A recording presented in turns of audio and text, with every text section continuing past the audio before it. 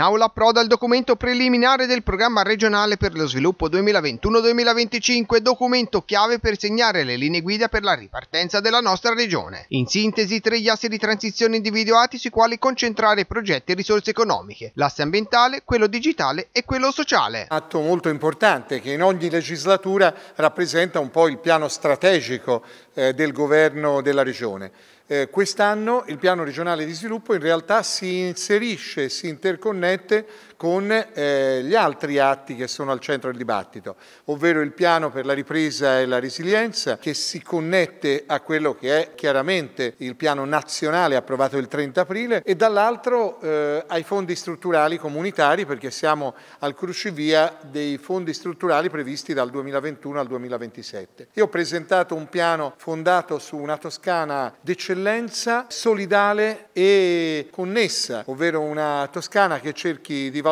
da un punto di vista culturale, economico, sociale, quelle che sono punte d'eccellenza riconosciute nel mondo, ma dall'altro cerchi di rendersi più connessa da un punto di vista delle infrastrutture, valorizzando il corridoio tirrenico, ma contemporaneamente modernizzando, penso all'attraversamento dell'alta velocità o all'aeroporto che è stato eh, proprio ieri sollecitato, quello che eh, rappresenta il modo per connettersi oltre, non solo sul piano fisico ma anche sul piano immateriale perché le connessioni della banda larga e del collegamento eh, di aree che oggi eh, hanno difficoltà a cogliere anche il segnale eh, del telefono o dei social è un obiettivo perché lo vediamo quando si riesce a creare la connessione, lo smart working e lo stesso sistema delle imprese ne ricevono un grande vantaggio. Però una Toscana solidale perché lo vediamo da un punto di vista della, eh, del contrasto all'emergenza Covid, è una Toscana che eh, tende a dover investire su quello che noi riteniamo essere una priorità, il sistema sanitario con i nuovi ospedali, con le nuove case della salute, con la telemedicina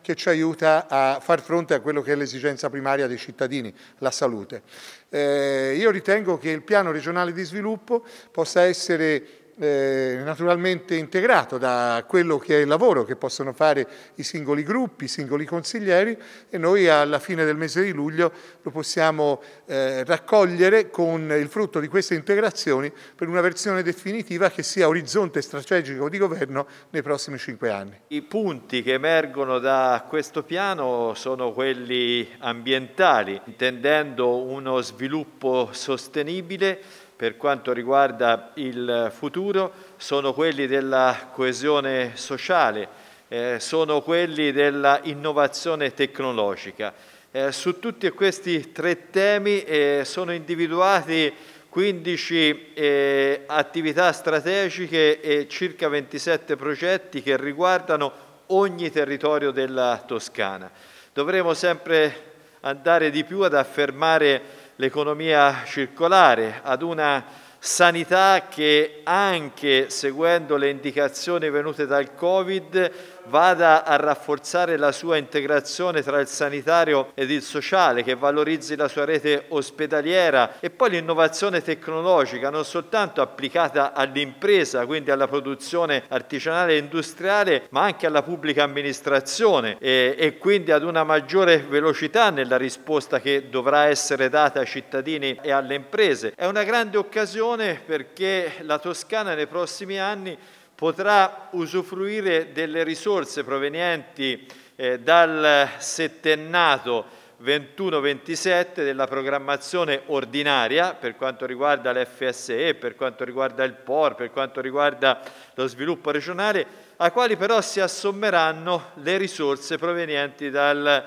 eh, PNRR, vale a dire il Piano Nazionale di Resilienza e Rilancio e quindi grande occasione per cercare anche di riunire e di riconnettere quelle tre toscane a cui fa riferimento l'IRPET, vale a dire quella più ricca, più dinamica, quella centrale, più urbanizzata con la costa e le aree interne che hanno maggiori difficoltà ma che hanno mostrato proprio in questa fase pandemia anche delle grandi potenzialità per quanto riguarda lo sviluppo anche di carattere turistico. Il piano regionale di sviluppo dovrà essere costruito all'indomani di questa comunicazione attraverso uno stretto rapporto con i territori e come gruppo del Partito Democratico noi abbiamo indicato queste priorità ma anche la modalità con la quale costruire il piano, vale a dire una presenza sui territori, una negoziazione dal basso, una capacità di coinvolgimento di tutti i territori e di tutte le nostre comunità. Dichiarazioni roboanti, si è passati dalla parola resilienza alla transizione che si fa un po' per tutto. In realtà noi abbiamo ricordato a Gianni che la Toscana si trova messa male, siamo in stagnazione economica ormai da molti anni, eh, siamo senza infrastrutture che ci possano rendere competitivi con le altre regioni europee, abbiamo una situazione sociale da tenere sotto controllo. È ovvio, non tutto va male, ma il governo regionale ci deve mettere in condizioni, deve mettere il Consiglio regionale in condizioni di affrontare una discussione seria, con un percorso chiaro, perché i tempi del PNR sono tempi molto stretti. Entro il 2023 dovranno essere messi a gara tutti i progetti, entro il 2026 sostanzialmente è finito tutto, pena la perdita dei finanziamenti e in questo senso, e concludo, va eh, purtroppo il ritardo dei tanti piani e programmi di cui la Regione Toscana si è dotata o si dovrebbe dotare, dalla tutela delle acque ai piani faunistici, allo stesso piano di mobilità integrata, sono tutti piani o scaduti o assolutamente non completati ad oggi, il che significa naturalmente rischiare di essere in ritardo rispetto al treno dei fondi europei. Staremo a vedere. 750 miliardi, arriveranno tanti soldi, la Regione Toscana si prefigge di impegnarli in tante belle opere, abbiamo sentito parlare di garantire l'occupazione, di rilanciare un nuovo Green Deal, di avviare un percorso che ci dovrebbe portare a centrare gli ambiziosi obiettivi dell'Agenda 2030 dell'ONU in termini di migliorie ambientali, ma poi nel dettaglio non, non, si, non si affronta un tema concreto. Ci sarebbe piaciuto sapere come in Toscana cosa vogliamo fare per superare il digital divide. Ci sarebbe piaciuto leggere qualcosa di più sulle infrastrutture, perché i 750 miliardi che l'Europa fa arrivare in Italia non sono un regalo, 360 di quei miliardi andranno restituiti entro il 2058. Quindi o si investe in qualcosa che in futuro porta una monetizzazione in Toscana, che porti interesse, che si riescano a capitalizzare questi soldi, soldi, oppure quello che oggi sembra un regalo, sembra un pacco regalo, potrebbe diventare un incubo. La cosa più incredibile che emerge è che stiamo discutendo un documento che potrebbe essere stato scritto 5-10 anni fa. Si vede che è aggiornato soltanto perché c'è il riferimento alla pandemia che ci ha colpito e ancora sta colpendo la Toscana. Quello che è il rischio fondamentale di questa legislatura è che con questi soldi, molti che arriveranno in Toscana, si vadano a finanziare dei progetti vecchi e soprattutto si farà senza monitoraggio e senza degli indicatori. Ci sono degli obiettivi da raggiungere che come sempre sono generici, con delle modalità che sono altrettanto generiche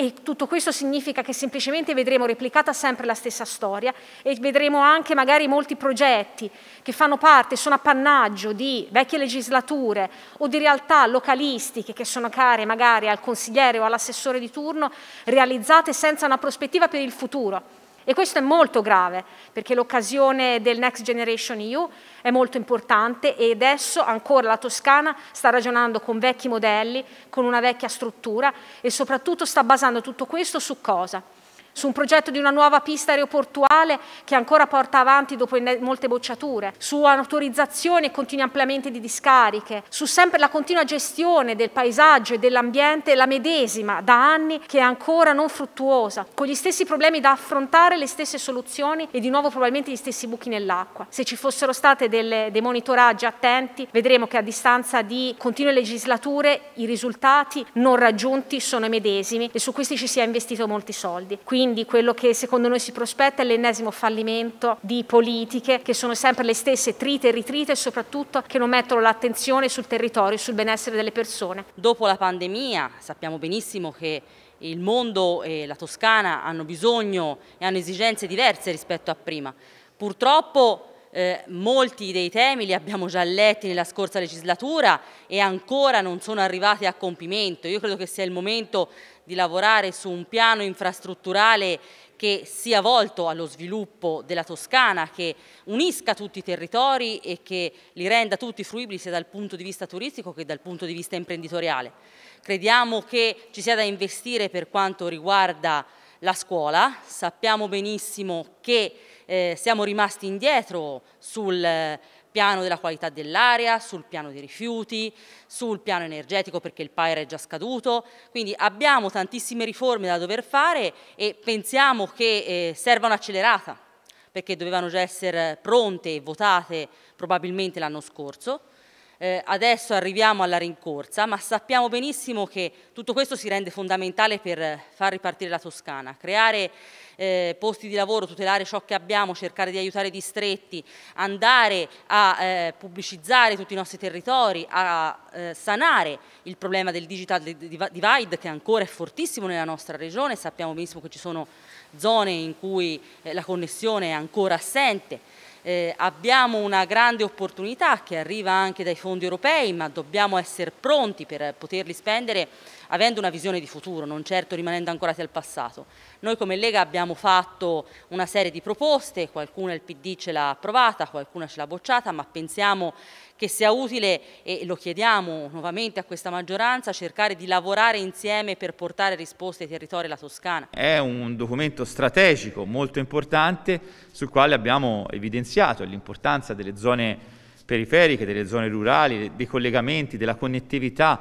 della sanità come fonte di sviluppo e nello stesso tempo come opportunità economica perché la tenuta sanitaria di una regione determina sviluppo economico. Questa pandemia ci ha detto questo, quanto siano importanti le infrastrutture, l'innovazione, i giovani, una serie di temi importanti che ci vedranno impegnati nei prossimi mesi e questo sarà un impegno importante verso il quale ovviamente il piano regionale dovrà integrare risorse comunitarie con risorse regionali.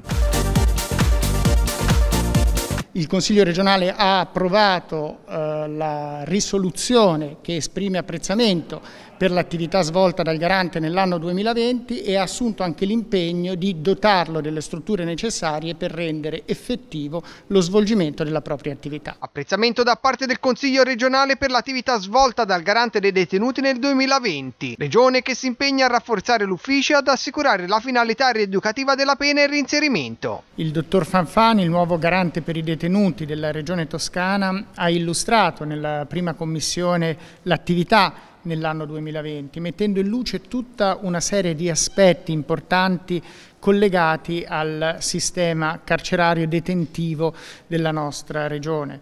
Lo ha fatto evidenziando come la Toscana sia nella media nazionale quanto al tema dell'affollamento. Sia molto riflettuto anche sulle due residenze per l'esecuzione delle misure di sicurezza, le due REMS che abbiamo in Toscana, quella di Volterra e quella di Empoli e anche di tutte quelle misure che vengono adottate anche in altri luoghi di detenzione che sono restrittive della libertà personale. Nella relazione resa dal garante c'è un'attenta disamina anche delle condizioni strutturali degli istituti penitenziari della Regione Toscana e anche degli altri luoghi di detenzione, come ad esempio le camere di sicurezza istituite presso le forze dell'ordine. Arriveremo alla soluzione ottimale quando ci sarà un garante non solo per i detenuti,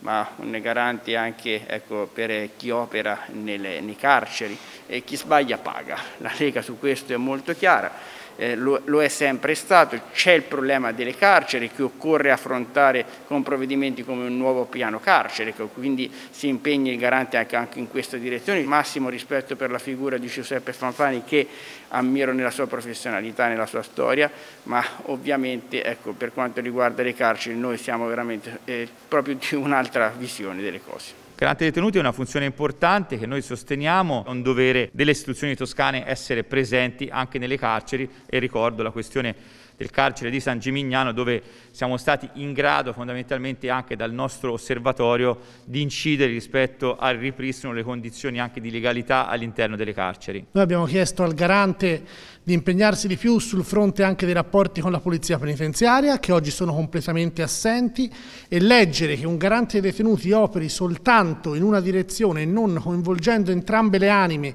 che per la vita del carcere convivono all'interno e si aiutano anche reciprocamente nella vita del carcere. Il garante noi lo interpretiamo come una figura che vada ad avvalorare questa cooperazione e non che faccia l'avvocato difensore di una parte contro l'altra. Non è questa la figura che a noi piace, è per questo che ad oggi non siamo ancora convinti dell'operato del garante Fanfani.